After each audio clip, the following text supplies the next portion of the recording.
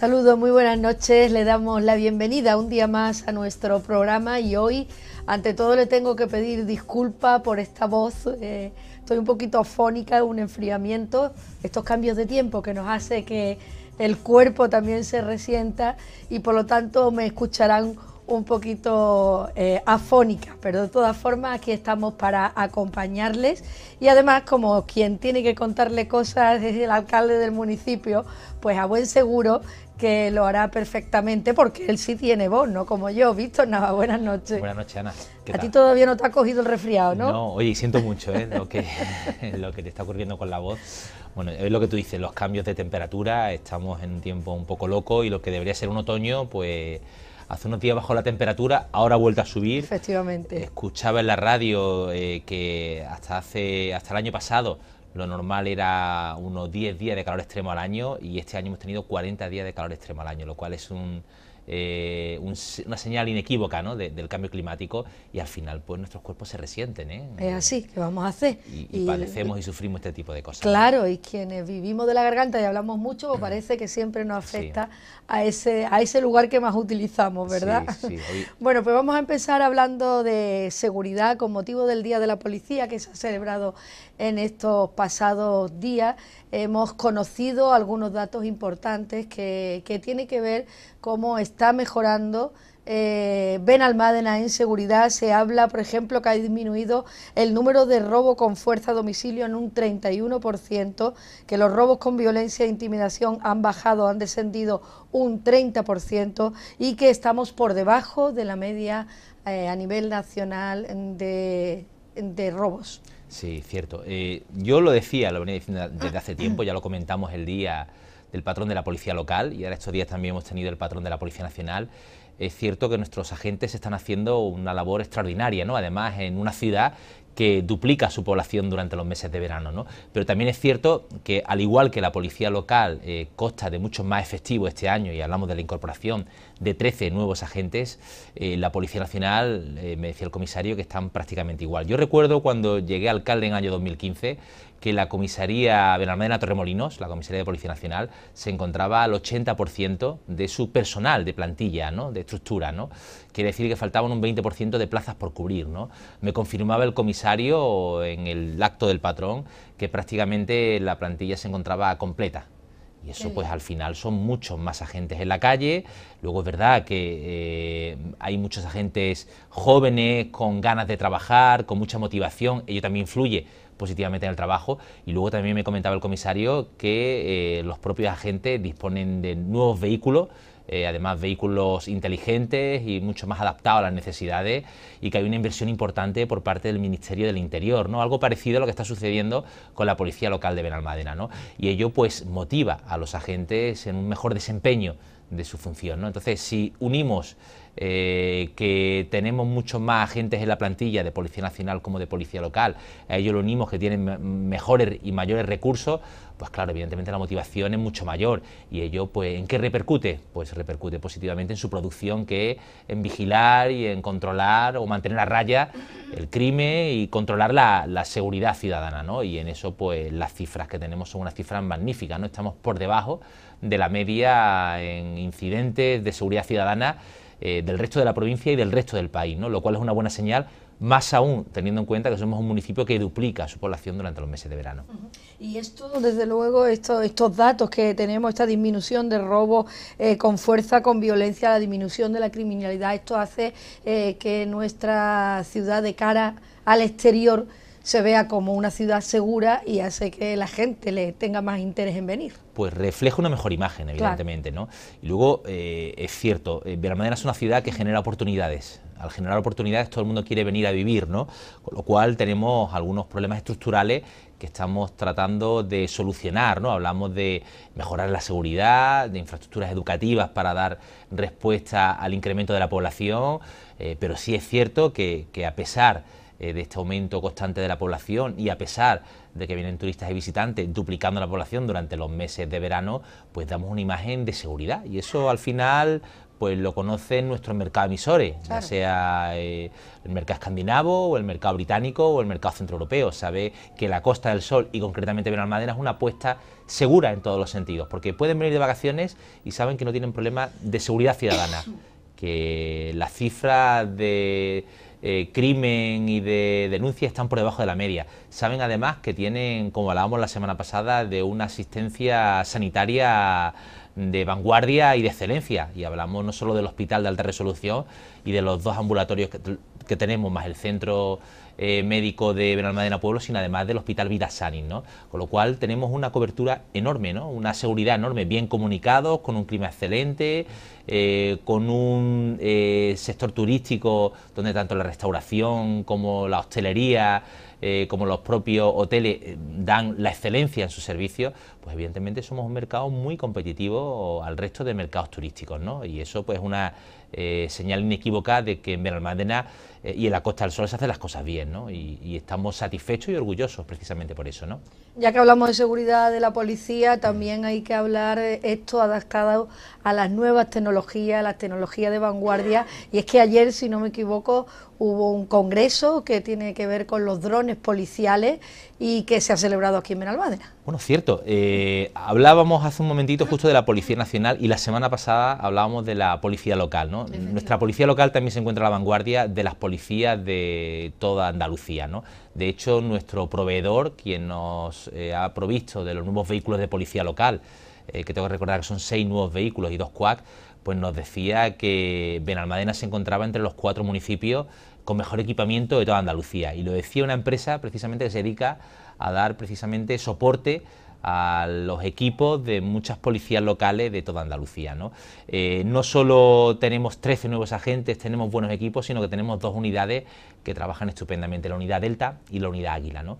La unidad Delta, que es la que se encarga del cumplimiento de las ordenanzas municipales, que aunque lo hace toda la policía, tengo que decir que ellos lo hacen de paisano y pillan infraganti a aquellas personas incívicas que incumplen las ordenanzas, pero también tenemos la unidad Águila, ¿no? que además eh, surge a iniciativa de unos agentes formados precisamente en el manejo de drones, ¿no? Y que desde la administración local se le ha puesto a su disposición todos los recursos pues para tener una unidad que con pocos efectivos personales, me refiero con pocos agentes, eh, realizan un gran trabajo de campo, ¿no? Porque a través de drones están cumpliendo con la seguridad ciudadana y, y pues prácticamente garantizando que los eventos, eh, eh, las intervenciones y cualquier tipo de desempeño se realiza con las máximas garantías, ¿no? porque desde el aire se puede controlar, se puede prever y se puede perseguir eh, cualquier tipo de amenaza. ¿no? Y eso lo estamos haciendo precisamente con la unidad Águila. ¿no? Y por eso se ha desarrollado en Benalmádena un congreso de las pocas policías que hay, porque no hay muchas que tienen este tipo de unidades. Benalmádena eh, una de las pioneras, ¿no? donde se habla precisamente de cómo esta tecnología puede estar al servicio precisamente de la lucha contra el crimen organizado ¿no? y de cómo puede contribuir a mejorar la seguridad ciudadana. ¿no? Eh, y bueno, eh, el Congreso es un acicate para nuestros agentes y para nuestra policía del trabajo bien hecho, pero es que además tenemos un permiso, lo hablamos hace tiempo, una licencia para instalar cámaras de seguridad, que estamos pendientes de la licitación administrativa para convertir a Benalmádena en una de las ciudades más seguras de la Costa del Sol, porque hablamos de que vamos a tener un sistema para una ciudad de 70.000 habitantes similar en cámaras y en eh, vanguardia tecnológica al de Marbella y al de Málaga capital, ¿no? lo cual nos sitúa de nuevo como una de las ciudades más seguras de toda la Costa del Sol. ¿no? Quiero decir, eh, se ha hecho un trabajo muy importante en los últimos años para recuperar el tiempo perdido y que nuestra policía vuelva a ser una de las más valoradas de toda la provincia de Málaga y por ende de Andalucía. ¿no? Y desde luego ser noticia por cosas positivas en cuanto a seguridad, eso denota que la gente quiera venir y eso hace que refuerce aún más eh, la ciudad, se refuerce aún más. La imagen de marca ¿no? que tenemos como municipio, ¿no? pero también es importante eh, la intención política ¿eh? de este gobierno. Yo lo puedo decir abiertamente, aquí ha habido otras corporaciones, ha habido otros gobiernos municipales y sí es verdad que eran otros tiempos, pero sí es cierto que la policía local dispone hoy de los medios que, requieren para el desempeño de sus funciones. Y creo que hoy por hoy tenemos una de las policías más profesionalizadas y con mejores recursos, que nunca es suficiente, ¿eh? que siempre podemos avanzar y mejorar los recursos de los que disponen. Pero hoy por hoy, a día de hoy, mañana será diferente, pero si seguimos manteniendo ese impulso, esa tensión en cuanto a la renovación de los equipos, pues tenemos, como he dicho, estas dos unidades, unidad Delta unidad Águila. Tenemos lo último en equipamiento en el parque móvil. Como comentaba el otro día, estamos al 90% de la renovación del parque móvil. Tan solo haría falta un 10% para culminar la renovación del parque móvil. Tenemos las cámaras de seguridad que deben salir en breve y tenemos un buen refuerzo de nuevos agentes pues, para culminar esa labor. Todo ello unido al incremento de recursos por parte de la Policía Nacional nos hace ser, como bien ha dicho, uno de los municipios más seguros de toda Andalucía. Eh, entre las noticias que se han publicado en esta, en esta semana también me ha llamado la atención eh, una que saltaba el pasado jueves, creo recordar, eh, que dice que podemos perder la subvención que nos llega europea de DUSI si no llevamos a cabo ya esa consulta ciudadana que estamos esperando que autorice la Junta de Andalucía. ¿Es así? Bueno, es que esto es una realidad. Esto es que ya lo hablamos en su día. Eh, los fondos de la Estrategia de Desarrollo Urbano Sostenible, los EDUSI, llegaron a Benalmádena en el año 2019 y en el año 2023 debía de estar culminado precisamente todo el proyecto. ¿no? Y es cierto que esos fondos europeos llegaron gracias a un programa de participación ciudadana y de escucha activa ¿no? que se puso en marcha en el año 2016, 2017 y 2018 y que gracias aquella encuesta ciudadana o aquellos sondeos de opinión, se decidió cómo queríamos que fuera Benalmádena Costa, ¿no? Se pidieron los fondos para la transformación, llegaron los fondos y empezamos a trabajar. Luego llegó la pandemia y es verdad que durante dos años pues eso ha retrasado el impulso que había de determinados proyectos. ¿no? Pero eh, pusimos en marcha una prueba piloto eh, para extraer conclusiones, porque había un estudio de movilidad sobre cómo se iba a comportar la circulación en el municipio a raíz de los cambios que venían provocados por la eh, inversión de la EDUSI, ¿no? Eh, y bueno, se arrojaron una serie de conclusiones que venían bien porque además tenían ya las correcciones, habíamos eh, con ese diagnóstico habíamos entendido qué tipo de correcciones debíamos aplicar para mejorar la movilidad en el municipio. Y justo cuando íbamos a empezar lo que es el desarrollo de las obras y que tenemos que terminar eh, antes de diciembre de 2023, pues ha habido un movimiento vecinal, yo creo que intencionado por parte de algunas fuerzas políticas, eh, donde además se reflejaba el descontento de una parte de la ciudadanía que no conocía digamos, la parte de participación ciudadana que se llevó a cabo en el año 2016, 2017, 2018 y que bueno ha estado pues impulsado claramente por la oposición aquí en Benalmádena, por el Partido Popular, ¿no? Y entonces pues hemos encontrado que ante la incertidumbre por parte de un sector de la población de si la inversión era la apropiada o no para el municipio, decidimos poner en marcha una consulta, sobre todo para salir de dudas, ¿no? Porque además yo eh, eh, siempre digo que nuestro gobierno se caracteriza por escuchar a la ciudadanía. Lo hicimos cuando el punto limpio, lo hicimos cuando la mezquita, lo hemos hecho en multitud de ocasiones, lo hacemos con los presupuestos participativos, lo hacemos con el sinfín de mesas sectoriales que tenemos para eh, hablar de los distintos problemas que tenemos en la ciudad, y hablo de la mesa del Club de Hielo, hablamos de la mesa del Complejo Los Pintores, o hablamos de distintas mesas que se han puesto en marcha, como la del cambio climático, o mesas sectoriales sobre eh, el escolar, sobre distintas problemáticas, ¿no? Y como siempre llevamos a gala que escuchamos a la ciudadanía, pues ante la duda de que el sector de población que estaba en contra del proyecto pues pudiera ser un sector significativo con respecto a la gente que participó inicialmente en la DUSI, pues decidimos poner en marcha una consulta popular. ¿no? La consulta la aprobamos en el pleno de abril y los permisos para realizarla se, se solicitaron precisamente a primeros de mayo, pero entonces ya llegó la convocatoria de elecciones andaluzas. Y bueno, según el reglamento de participación ciudadana, y de consultas populares de la Junta de Andalucía hay que esperar unos plazos, pues desde que se convocan las elecciones hasta que se constituye el gobierno autonómico, luego 90 días después de la toma de posesión y a partir de ahí pues llega la autorización y después de la autorización hay que hacer una publicación en el boletín oficial de la provincia y bueno, los plazos van corriendo. ¿no? Y lo que en principio nos parecía una idea, eh, pues a, a, mi juicio entusiasta, ¿no? porque pedirle a la ciudadanía que vuelva a opinar sobre un asunto que es de ciudad, pues se está alargando en los plazos y nos estamos viendo con dificultades porque eh, estamos en octubre de 2022, la EDUSI tiene que estar terminada en diciembre de 2023 y tenemos que saber qué es lo que piensa la ciudadanía, si vamos a invertir esos 10 millones, si no los vamos a invertir, si vamos a tratar de transformarlo y aún así pedir los 10 millones, eh, a ver si nos lo otorgan o si vamos a ir con todas por delante y perder esa cantidad, no lo sé, yo creo que como alcalde en este momento debe de pronunciarse la ciudadanía. ¿no? Y lo que ha ocurrido es que la EDUSI está ahí, pero también en marzo de este mismo año nos habían dado una ayuda del plan de recuperación y resiliencia puesto en marcha por el Gobierno del Estado de 3 millones de euros, que iba a ser la segunda fase de la actuación en Antonio Machado. Recuerdo, la primera fase va incluida dentro de los EDUSI, que tenemos que ejecutar antes de diciembre de 2023, y la segunda fase, pues que nos la otorgaron en marzo, tenía que tener los proyectos ejecutados, la redacción de los proyectos antes de octubre de este 2022 para ejecutar el año que viene, ¿no? Eh, ante la incertidumbre de saber si el proyecto va a requerir de cambios o no, pues no hemos avanzado en la redacción de esos proyectos y están adjudicados, pero los eh, licitadores están esperando que digamos cómo va a ser la fisonomía de la avenida Antonio Machado, si se van a mantener cuatro carriles, si se mantienen dos eh, para el transporte privado y dos para el transporte público, si finalmente se queda todo tal y como está y solo se arreglan las aceras, en fin, son los tres modelos que se han estado planteando durante este tiempo, ¿no? Y claro, estos días ya nos llegaba la comunicación, pues por parte del Ministerio de que o iniciábamos ya eh, la redacción de los proyectos o perdíamos o tenemos que renunciar a esa subvención. Y muy a muy pesar, con mucho dolor hemos visto pues eh, con la necesidad de tener que renunciar a esas cantidades. Y todo porque la Junta de Andalucía está eh, postergando la autorización al Ayuntamiento de Benalmádena para realizar esta consulta, ¿no? lo cual nos deja en una situación, yo siempre digo esto es como el dolor de la cabra, si andas malo, pero si paras peor, ¿no? Entonces tenemos que saber ya lo que vamos a hacer, ¿no? ¿Por qué se retrasa tanto? ¿Han dicho algo? ¿Hay algún motivo? Pues sí, hemos, empezamos a finales de abril, hicimos la primera petición, se envió toda la documentación eh, y luego hemos tenido distintos requerimientos cruzados. Primero de la subdelegación de gobierno contándonos que trasladaban a la Junta de Andalucía, a la Consejería de Familia, pues que trasladaban, que era la competente en esta materia de participación ciudadana, eh, pues que trasladaban eh, el requerimiento del Ayuntamiento de Benalmádena para la consulta.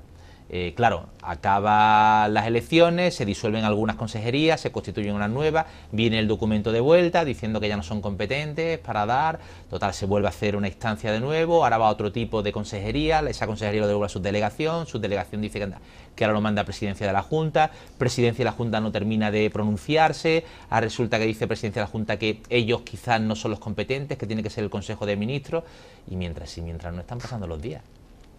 Entonces lo que he hecho estos días atrás es, ante la necesidad de tener que tener claro ya lo que vamos a hacer, es averiguar si otros municipios del entorno han desarrollado algún tipo de consulta popular con algún encaje jurídico que podamos poner en marcha. Y estos días pues he hablado con Marbella y con Mijas. Y parece ser que sí, que ellos son ayuntamientos que han realizado, concretamente Mijas, realizó hace unos días una consulta popular en un ámbito pequeñito y estamos buscando una solución pues para, si es posible, antes de final de octubre, poner en marcha esa consulta. Tengamos o no la autorización, ¿no? Vamos a buscar el encaje legal que nos permita hacerlo, ¿no? Que no tengáis que depender de la Junta de Andalucía, en claro, este caso. evidentemente, pero es que eh, yo quiero que esto lo entienda toda la ciudadanía. Podemos esperar eternamente, pero es que no va a llegar el mes de febrero, marzo o junio de 2023 y cuando te autoricen, que tienes cuatro meses para hacer la DUSI, yo creo que tenemos que trabajar con mucho más margen, ¿no? Claro. Y en esta ocasión me gustaría haber contado con toda la corporación, porque esto es una cosa que se aprobó eh, con el EDUSI en el año 2018 y estaba toda la corporación de acuerdo. Y cuando digo toda la corporación son todos los partidos políticos, PP, Ciudadanos, eh, Podemos, que estaba en aquel momento en la corporación, Izquierda Unida, PSOE, estábamos todos de acuerdo. Pero de buenas a primeras, tanto el Partido Popular como Ciudadanos, como Vox, que en aquel momento no estaba, pues se han desentendido de la DUSI.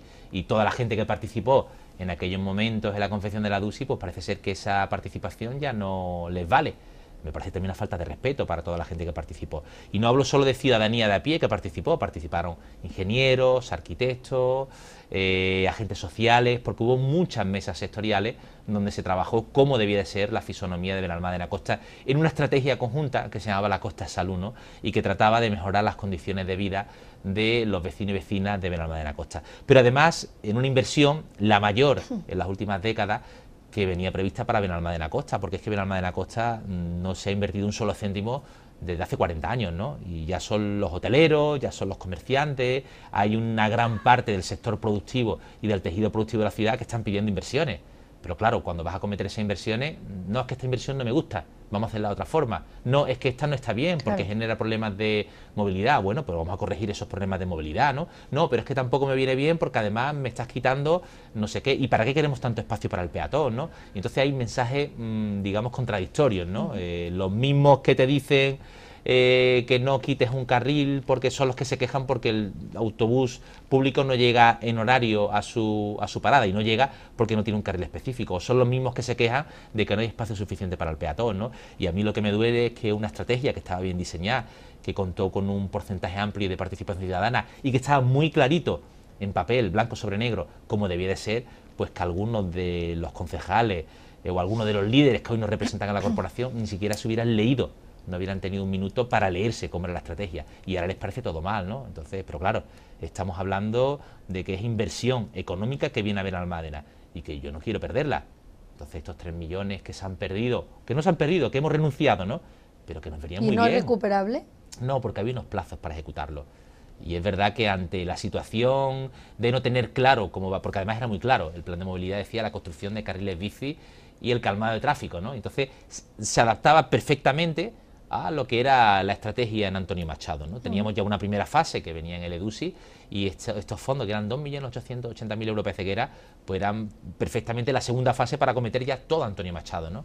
Y, y, digamos que revitalizar esa fachada litoral, ¿no? Ahora, al no poder cumplir los plazos y al no poder hacer ese carril bici o calmar el tráfico como se nos pedía, pues tenemos que renunciar a esa ayuda de 3 millones de euros. Por eso quiero dejar cuanto antes claro la, consulta, para saber qué opina la ciudadanía de Benalmádena. Porque si en una mayoría muy amplia la ciudadanía de Benalmádena piensa que no es un proyecto bueno para la ciudad, yo no soy un alcalde que gobierna de espalda a la ciudadanía. Haremos lo que diga la ciudadanía. Pero si lo que vemos es que como ocurría en aquella participación, hay un porcentaje pequeñito que está en contra, pero hay un porcentaje mayoritario que quiere esa inversión, porque me consta que el tejido productivo de la ciudad, que es bastante amplio, la quiere, pues acometeremos la, inversión y seguiremos adelante, pero siempre lo que diga la ciudadanía. Bueno, pues eh, eh, otro tema eh, también que, que, ha sido actualidad esta semana tiene que ver con la educación, tiene que ver con la visita que en este caso ha realizado el delegado de Educación, Miguel Briones, nuevo delegado, a Benalmádena. para poner en marcha ya el instituto del que llevamos hablando tanto tiempo? Bueno, ya, ya echaba en falta la visita de un delegado de la Junta de Andalucía leal con el Ayuntamiento de Benalmádena. ¿no? Creo que desde que era delegada Patricia Alba no hemos tenido un delegado como actualmente Miguel Briones, ¿no? al cual eh, pues le tengo una gran simpatía y tenemos una gran sintonía. ¿eh? Eh, tengo que decir que la anterior delegada de la Junta de Andalucía, Nina García Paine, pues no vino a Benalmádena prácticamente los cuatro años. ¿no? De hecho, hablaba con el director del instituto y le pregunté, digo, oye, mm, llegó a venir la, delegada en la anterior legislatura y me dijo que no, que ni la conocía, ni había aparecido ni nada, ¿no? Pero además era una delegada muy desleal porque cada vez que venía a Benalmádena jamás avisó al alcalde. Venía a actos políticos, venía y se reunía con los concejales de su grupo político o con los directores de los centros educativos o con los padres directamente. me parece cuando la máxima figura representativa de la ciudad es el alcalde con quien tiene que reunirse con el alcalde. No es el caso de Miguel Briones, ¿eh? que es un delegado que está ejerciendo, que en su primer mes desde el nombramiento pues ya ha visitado Benalmádena y bueno, me parece lo acertado, ¿no? porque mm, como él decía, somos uno de los municipios que más dificultades tenemos en la educación, ¿no? porque tenemos los ratios de nuestras aulas están sobrepasados, tenemos una gran tensión eh, que afecta a la convivencia en muchos de nuestros centros educativos y la razón es otra que, como he dicho al principio, Benalmádena es una ciudad que genera oportunidades, eh, donde se genera empleo y riqueza y donde mucha gente quiere venir a vivir. Eso hace que la población aumente año tras año, ¿no? Y eso implica la construcción de infraestructura educativa, de aumentar la seguridad, de infraestructura sanitaria, de mejorar la dependencia, de mejorar la movilidad, el acceso a la vivienda, porque vamos creciendo constantemente, ¿no? Y en educación tenemos unos déficits importantes de, los últimos años, ¿no?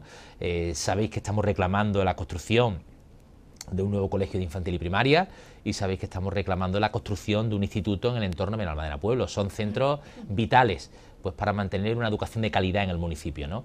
Eh, y luego había también la ampliación precisamente para módulos formativos en el IES Arroyo de la Miel, una eh, inversión que se planificó en el año 2016 y que ahora parece que será una realidad y comienza ahora en el mes de noviembre en una obra que va a durar nueve meses y una inversión de aproximadamente un millón de euros y que va a ampliar las instalaciones del IES Arroyo de la Miel, ¿no? con lo cual van a mejorar ese ratio, van a mejorar la calidad de la enseñanza que se da ahí y muchas de esas aulas que hoy están comprometidas, ¿no? hablamos de bibliotecas, laboratorios, salones de actos, gimnasios, que están reconvertidos en aulas, ¿no? Pues para que se puedan dar clases, pues volverán a estar libres para su uso, ¿no? para mejorar la calidad de la enseñanza que se da en Benalmádena. ¿no? Y estuvimos hablando también de eh, lo que es la construcción de ese centro de infantil y primaria y de ese instituto tan demandado para Benalmádena. ¿no? Eh, y bueno, el, el, delegado agradeció que ya por parte del ayuntamiento se pusieran los suelos a disposición de la Junta de Andalucía. Ellos están en fase de redacción de proyectos, eh, perdón, en fase de licitación de la redacción de proyectos. Y calculamos que para final de año estarán adjudicados la redacción de los proyectos. El año que viene estarán redactados los proyectos y se darán a licitar con un poco de suerte. 2025-2026 será una realidad que estén esos centros educativos ya funcionando. Muchísimo tiempo, ¿verdad? Muchísimo tiempo, ¿no? Yo, yo me hago cargo. Por eso mm, le reclamé tantas veces a la anterior delegada de Educación y a la anterior eh, Consejería de Educación la necesidad de ponernos manos a la obra.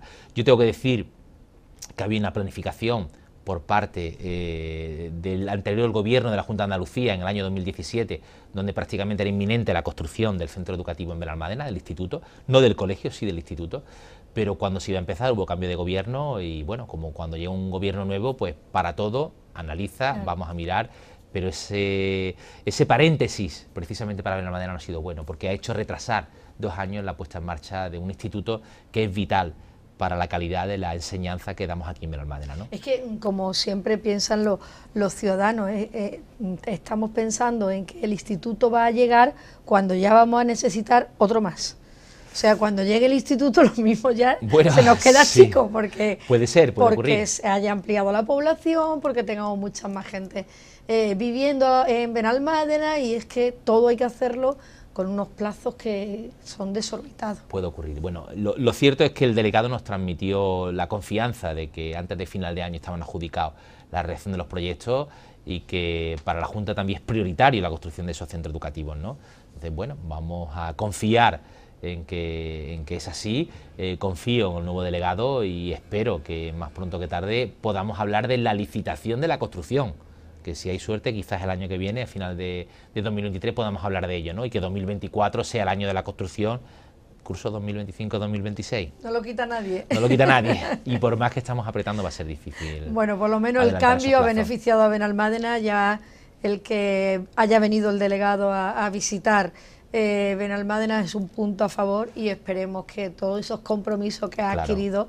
lo vaya llevando a cabo. Claro, hombre, también la, presión que hemos hecho por parte del ayuntamiento y por parte de las AMPAs creo que también ha influido. No quiero ni pensar si no hubiera existido esa presión, eh, si iríamos al mismo ritmo de trabajo, ¿no? Entonces, afortunadamente, bueno, ha habido una presión por parte de las AMPAs, por parte de los eh, directores y de los docentes, porque ya eh, hablan de prácticamente una urgencia y una emergencia necesaria la construcción de nuevos centros educativos y el ayuntamiento que también está presionando. Y además, fijaros, mm, cuando llegamos a la alcaldía en el año 2015, el problema eh, para la Junta de Andalucía de construir centros educativos en Benalmádena es que el Ayuntamiento de Benalmádena no había puesto suelo a disposición de la Junta. Por lo tanto, aunque quisieran construir un centro educativo, aunque quisieran construir un instituto, es que no había suelo. No había dónde, claro. No había suelo. Y eso fue lo primero que nos pusimos mano a la obra, a negociar con privados, en realizar determinadas permutas para que donde había un suelo privado, como es la zona de Retamar, convertirlo en un suelo público que finalmente es el que hemos cedido a la Junta de Andalucía ¿no? para la construcción del instituto. ¿no? Y eso ha hecho que en el año 2018 la Junta de Andalucía ya tenía suelo para un colegio y para un instituto. Y hoy lo ha agradecido el delegado, a lo cual le, agradezco que lo haya tenido en cuenta, que Benalmádena ha cumplido sus deberes como ayuntamiento para la construcción de los centros educativos y que la pelota está en el tejado de la Junta para la construcción de esos centros educativos. ¿no? Bueno, pues seguimos hablando de adolescencia porque se ha renovado, si no me equivoco, el convenio con la Universidad de Málaga eh, para las jornadas de adolescencia que se vienen celebrando. Bueno, va a ser un mes de noviembre que no vamos a parar como nunca. Muy activo y muy divertido, ¿no? Bueno, creo que son ya las, las, quintas jornadas ya, ¿no? Eh, fijaros que estos días me, resulta curioso porque hablaba con alguien, hablamos de las sextas eh, jornadas del Ateneo de Benalmádena, hablamos de la cuarta semana del Mayor en Benalmádena y hablamos de las quintas jornadas de la Universidad de Málaga en Benalmádena os dais cuenta que en los últimos 5 o 6 años la revolución de actividades que se ha llevado a cabo en la ciudad ha sido enorme, ¿no? En todos los ámbitos, no se ha parado, ¿no? Hemos puesto en marcha muchas iniciativas que se mantienen en el tiempo porque son iniciativas que la ciudadanía valora y que, y que aprecia, ¿no? Eh, también os doy una idea de cómo estaba Benalmádena cuando llegamos en el año 2015, ¿no? Y de que había una situación en determinadas áreas de cierta parálisis. ¿no? Afortunadamente ahora la rueda anda. ¿no? Y estas jornadas de la Universidad de Málaga son unas jornadas que nacen de los cursos de verano de la UMA. Yo recuerdo en los primeros años de legislatura, 2016-2017, pusimos en marcha los cursos de, la, los cursos de verano de la UMA, eh, pero para la Universidad de Málaga eh, poner cursos de verano eh, era difícil o tenía dificultades en algunos lugares, ¿no? y concretamente Benalmádena era uno de ellos, ¿no? porque los cursos tienen un sentido, ¿no? y es eh, traer una programación de calidad eh, a ciudades, ¿no? repartir o, llevar a la Universidad de Málaga a los rincones de, la provincia de, Málaga, ¿no? pero claro, eh, implicando pues que si llevamos una actividad archidona, pues con un ponente de prestigio, pues que la gente se desplace a Archidona y que conozca allí esos cursos de verano y que lo disfrute, y si lo hacemos en otro lugar, pues tres cuartos de lo mismo. En Benalmádena era complicado porque en verano estamos a tope, no había lugar para el alojamiento, era difícil, ¿no? Y, encima mucha de nuestra juventud estaba trabajando durante los meses de verano. Con lo cual vimos la necesidad de adaptar esos cursos de verano y convertirlo en un recurso que fuera mucho más utilizable y aprovechable por los propios adolescentes y por la propia juventud. ¿no? Y de ahí surgió que fuimos los pioneros y como decía eh, Diego Vera, el, presidente de la, Fundación General de la Universidad de Málaga, son una jornada eh, de la Universidad de Málaga las más potentes que se realizan en todas las provincias porque fue la primera. Las primeras que se hicieron fueron en Benalmádena, ¿no? Y ya vamos por las quintas.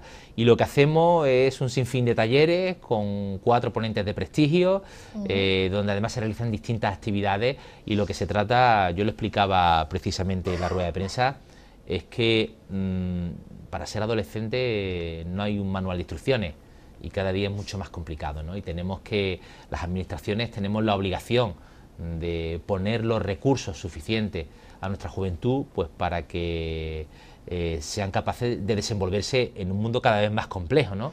y que obtengan la madurez eh, necesaria pues para eh, no ser carne de cañón de, de, muchas de las dificultades que nos encontramos hoy día en la vida. ¿no? Así que creo que son una jornada muy completas que van sobre el empoderamiento precisamente de nuestra juventud, sobre temas relacionados con la autoestima y con eh, obtener recursos de cara a enfrentarse a determinados problemas y creo que son del interés, creo, de, muchos jóvenes y adolescentes. Entre otras cosas, porque la programación de esas jornadas viene avalada por lo que los propios docentes han, perdido, han pedido los propios institutos. ¿no?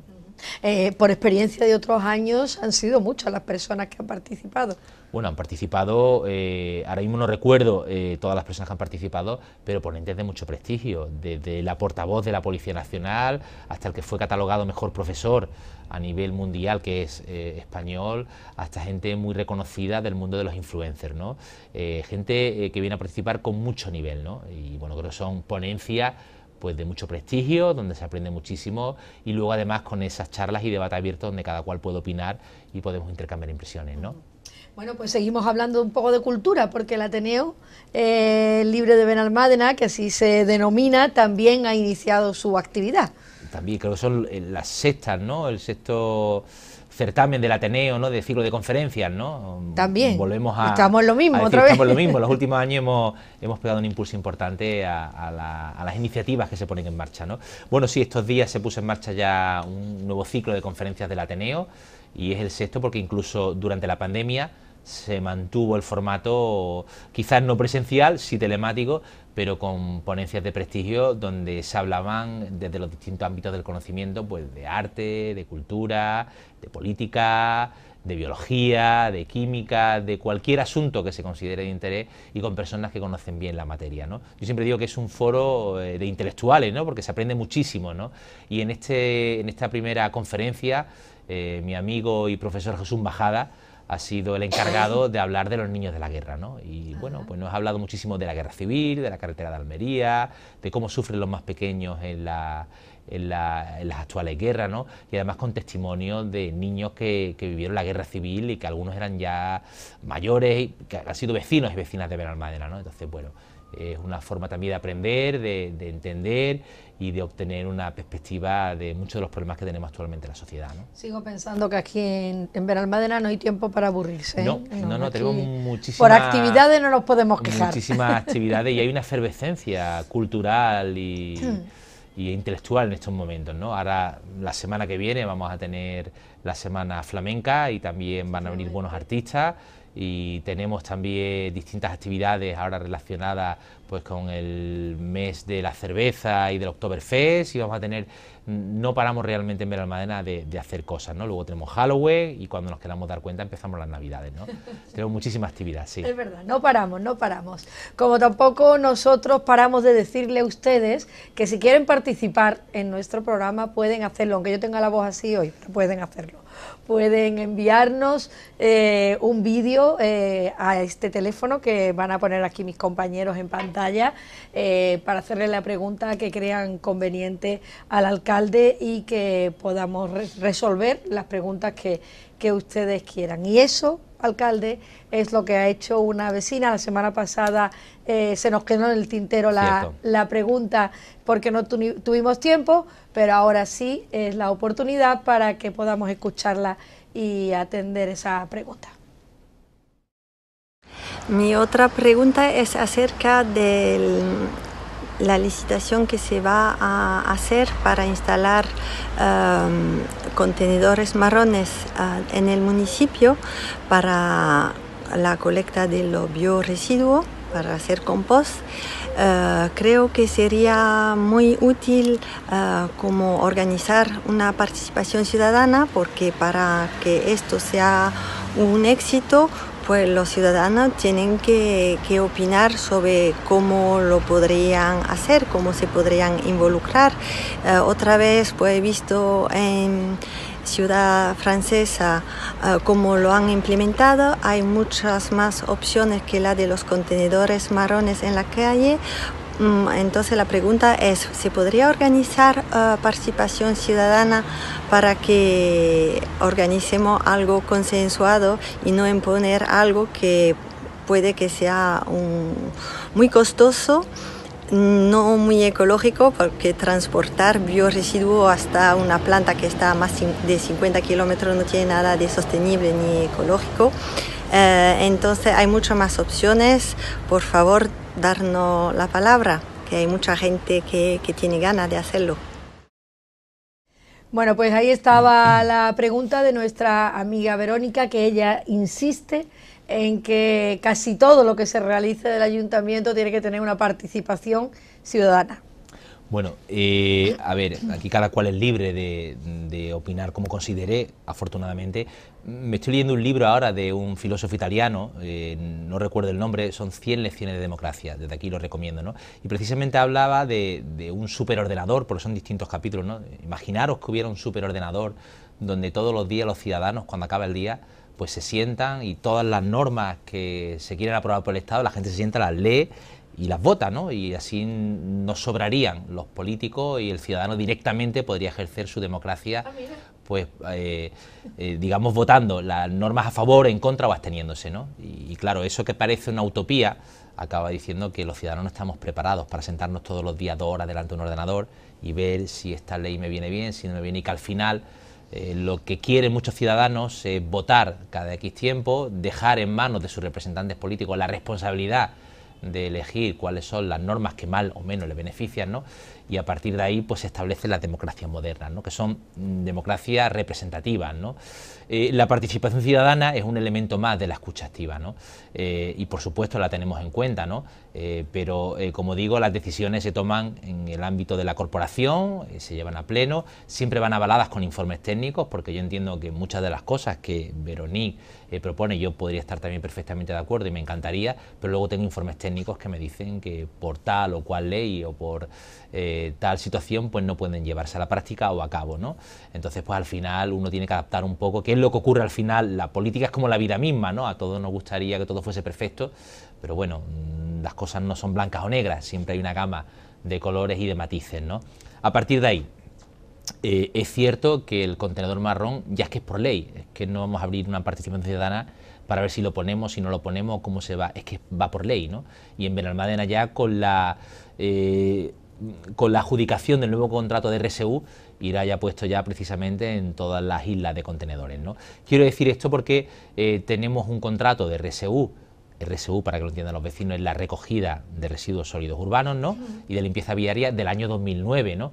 que supone para el ayuntamiento unos 6 millones de euros anuales, ¿no? donde va contenido pues toda la inversión en camiones de recogida de basura, en barredoras, en contenedores, en equipamiento de los trabajadores y cuando se hace un contrato y dura más de 10 años, pues resulta que toda la maquinaria está ya más que amortizada. Por eso nuestros camiones de basuras tienen más de 200.000 kilómetros, nuestros contenedores están anticuados y luego hay servicios a los cuales no llegamos, ¿no? porque es verdad que los precios han subido mucho en los últimos años. ¿no? Por eso este equipo de gobierno, yo siempre lo he dicho, uno de nuestros objetivos era reforzar la calidad de los servicios públicos, ¿no? mejorar la calidad de los servicios públicos. ¿no? Y por eso vamos a sacar ahora un nuevo contrato de RSU que pasa de 6 millones de euros anuales a 10 millones de euros anuales.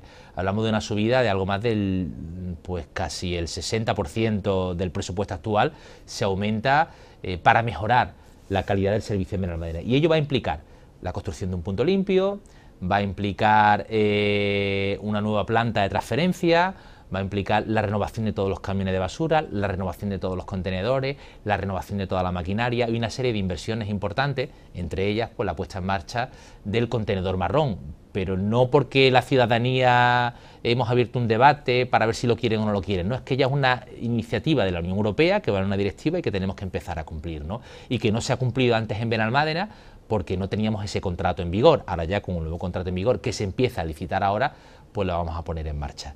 Con lo cual eh, es obligación sine qua non mm, y que va incluido en el próximo contrato. ¿no? A partir de ahí, yo entiendo a Veronique que ella quiere participar y, que de hecho no participa solo en tu programa, sino que pleno tras pleno viene y ella pues mm, pone en marcha sus preguntas, sus reivindicaciones, sus iniciativas y es lógico, ¿no? Pero en el día a día de una corporación es muy complicado eh, que tengamos tiempo para la participación ciudadana tal y como ella cree que debe de ser. Y luego ocurre que muchas veces cuando se convocan a los vecinos, pues al final es un porcentaje pequeño de la ciudadanía que quiere participar activamente, ¿no? Por eso tenemos canales como el portal de participación ciudadana o atendemos directamente eh, a los ciudadanos que así lo reclaman, pues la alcaldía, visitamos los barrios, vamos conociendo un poco para tomar el pulso de la situación. ¿no? A partir de ahí se han hecho también participación ciudadana para la EDUSI, se hizo en el año 2016, 2017, 2018, ahora se ha puesto en marcha también para la agenda urbana, se va a poner en marcha para el plan contra el cambio climático y se van poniendo en marcha distintas iniciativas.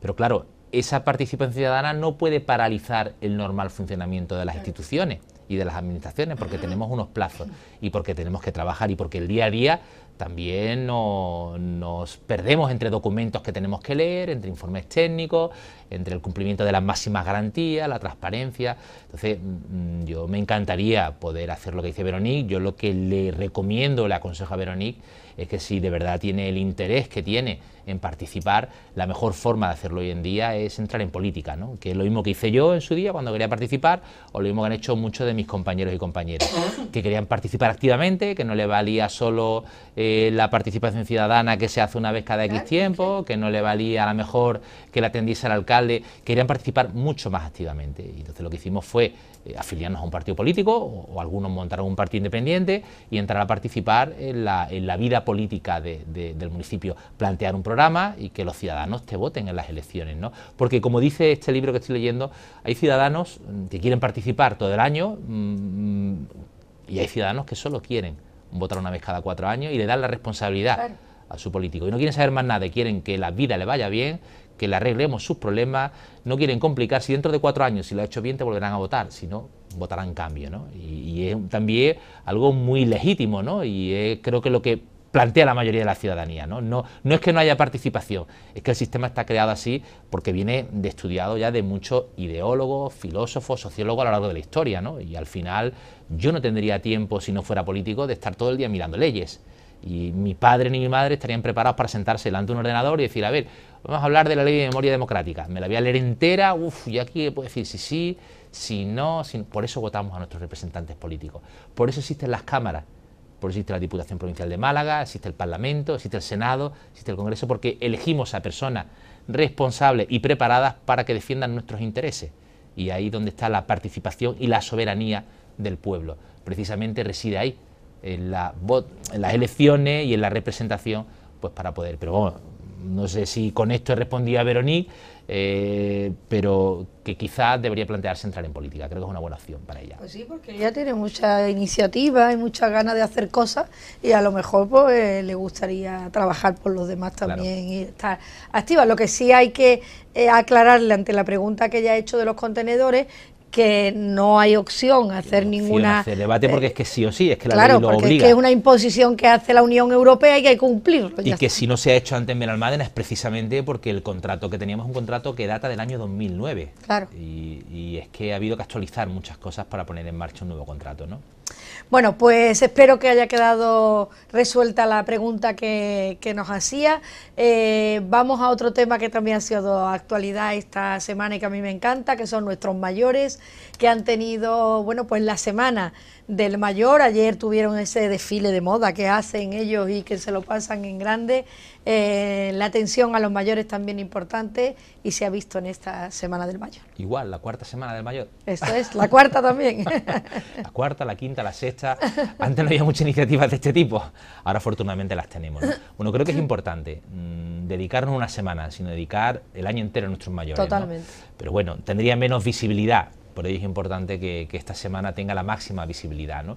Y lo que se trata de poner en valor es que es una virtud el envejecimiento activo, ¿no? que, jubilarse no es quedarse ya en un sofá o echarle de comer a las palomas, que hay muchísimas actividades que pueden realizar nuestros mayores para permitirles precisamente mantenerse en perfecto estado de salud. Alguien me decía estos días, eh, porque hablaba con un amigo que tiene 88 años y tiene un huerto eh, precisamente por ahí eh, en, a las afueras de Benalmádena, ¿no? Uh -huh. Y el hombre conduce y todo, y, y, le decía, pero chiquillo, ¿cómo estás tan, tan saludable y con esa vitalidad y esa fortaleza? Y me decía alguien, dice, es que no para, mientras claro. no pare, va a tener esa vitalidad. Yo creo que eso es un poco lo que se pretende con nuestros mayores, ¿no? Son, digamos que, eh, un colectivo que lo ha dado todo por nosotros, que nos ha eh, educado en valores, que nos ha educado, nos ha dejado una sociedad mejor que la que ellos encontraron y que son la voz de la experiencia y el ejemplo para muchos de nosotros y nosotras, ¿no? Y como tal tenemos una deuda con ellos, ¿no?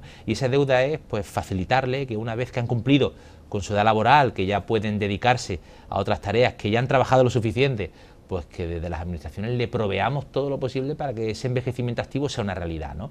Y en Benalmádena lo hacemos, ¿eh? Yo que me doy muchas vueltas por otras ciudades del entorno, por otros municipios, os tengo que decir, en muchos de ellos ni siquiera existen actividades como las que tenemos en Benalmádena. En Benalmádena tenemos un catálogo de actividades enorme, musicoterapia, eh, gimnasia, mantenimiento físico, costura, manualidades, el baile, hay un sinfín de actividades para nuestros mayores. Pero además todas esas actividades en Benalmádena son gratuitas. Y sé que en otras ciudades no lo son, porque pregunto, ¿no? Y eso es una ayuda para nuestros mayores, ¿no? Claro Ahora sí. además con la ampliación del hogar de mayores Anica Torres, el Centro de Participación Activa, pues se han duplicado el número de actividades, tenemos mucho más espacio, hay mucho más horario, incluso de mañana y tarde, y están encantados de participar, de apuntarse a todo lo que les gusta eh, y además hacerlo de forma gratuita, que para ellos es un alivio. ¿no? Claro. Si a ello le sumas que en Benalmádena el transporte eh, gratuito para los eh, pensionistas fue una de las primeras medidas que pusimos en marcha, fueron los primeros que se beneficiaron del transporte gratuito en el autobús urbano y le sumas también pues que tratamos de ayudarles con los viajes, con la comida de Navidad, que hacemos un sinfín de actividades, pues esta Semana del Mayor es el digamos el espacio perfecto para darles visibilidad y para que sientan el cariño de toda la ciudadanía de Benalmádena, ¿no? Por todo lo que han trabajado y han luchado por la sociedad actual que tenemos, ¿no? Y supongo que el alcalde habrá compartido varios por actos supuesto, con ellos. Intento ir a todos los que he podido. Mira, estuve en la presentación de la semana que fue precisamente el lunes, luego el miércoles he estado en un acto de homenaje precisamente para ello, eh, luego el martes tuvo el mantenimiento físico, no puedo acudir porque tenía otras eh, obligaciones en mi agenda, eh, y luego este viernes estuve en el pase de modelos, que han hecho un pase de modelos espectacular. Pues digo que, que la vejez será algo que aparentemente existe, pero que la juventud va por dentro. Claro. Y ellos demuestran muchas veces ser mucho más jóvenes que, que, algunos de nosotros y nosotras. ¿no? Y es cierto, yo creo que siempre lo pienso, lo he pensado, que en los pueblos los mayores viven mucho mejor. Porque tienen muchas más atenciones que, que, las ciudades grandes. Las ciudades grandes no, hmm. no hay tanto para, para ello como, como en un municipio de una, sí. de una dimensión más reducida. Cierto. Hay estudios sociológicos, fijaros, mira, eh, y lo que voy a decir, mm, habrá quien diga que es mentira, pero lo podéis buscar en Google y en Internet. Hay estudios sociológicos, precisamente en la agenda urbana, de que muchas personas mayores que viven en ciudades no socializan, con lo cual envejecen antes. ¿no? Y es en gran parte por el miedo al tráfico. Hay ciudades que son muy bulliciosas, con demasiado tráfico, y eso asusta a muchos de nuestros mayores a salir a la calle, a dar un paseo o a sentarse en un banco, ¿no? a hablar con otras personas. ¿no? Por eso muchas de las iniciativas que se toman en la ciudad de calma de tráfico van encaminadas también a buscar la socialización de otra parte de la sociedad que actualmente no sale a pasear por miedo a, a ser atropellado o por el ruido que genera el tráfico o la polución. ¿no? En Benalmádena queremos trabajar para eh, que toda la sociedad eh, se sienta incluida. Y los centros de participación activa son los lugares ideales para ello, ¿no? porque pueden venir, socializar, estar entre amigos, compartir inquietudes y sobre todo para personas mayores que se encuentran solas ¿no? o que sus familiares están trabajando y que aquí tienen un lugar donde encontrar sus amigos, entretenerse, echar la partidita o participar en la cantidad de, de actividades que tiene. Y ahora recuperamos una actividad que ha sido muy aclamada durante muchísimo tiempo y que a consecuencia de la pandemia tuvimos que dejar aparcada, ¿no? que es el paseo por la salud, el paseo para la salud. ¿no? Es una iniciativa que puso en marcha mi amigo Paco Portillo en el año 2000 y que luego pues otro amigo, Manolo Lozano, que fue presidente también del hogar de mayores durante un buen mandato, varios mandatos, pues la continuó, ¿no? Y también mi amigo Juan Díaz, que también forma parte de la Asociación de Voluntarios, estamos interesados en volver a recuperar de alguna forma ese paseo para la salud y estos días podré dar más detalles de la puesta en marcha del mismo, que es otra de las iniciativas que ha funcionado en Benalmádena y que hemos sido pioneros, ¿no? que es pues coger distintas rutas cada día, coger a un grupo de mayores y nos vamos a pasear y a caminar una horita, una horita donde conversamos, charlamos y cuando volvemos pues tenemos una fruta y un botellín de agua. Pero claro, esas caminatas tienen que ser por lugares seguros, ¿no? donde haya poco tráfico, donde las aceras sean amplias, de ahí la importancia a veces de transformar nuestra ciudad. ¿no? Y cómodos para ellos, lógicamente. Y cómodos para ellos, cierto. Eso es así. Es que tenemos que velar por nuestros mayores, que lo dieron todo y ahora tenemos que ser nosotros los que tengamos que estar ahí con, con ellos. Eh, la semana pasada se nos quedaba en el tintero, alcalde, y no quiero que me ocurra también en esta ocasión ese reconocimiento que se va a llevar a cabo y que se ha aprobado en pleno a Federico Sánchez. Bueno, por supuesto. Eh, Federico me consta que ha sido también un gran amigo de esta casa. Ahí lo tenemos en el programa nuestros. Efectivamente, amigo personal, yo lo conozco desde hacía muchísimos años, te diría que desde pequeño, ¿no? porque su familia y mi familia pues hemos sido prácticamente vecinos. ¿no? Eh, conozco a su mujer, a sus hijos, es un empresario de reconocido prestigio de la ciudad, ha hecho mucho por Benalmádena, fue presidente de la CEP, eh, todo el mundo le tenía en una alta estima y durante los últimos años que he estado alcalde he podido estrechar muchos lazos con Federico y hemos hablado de muchísimas cosas.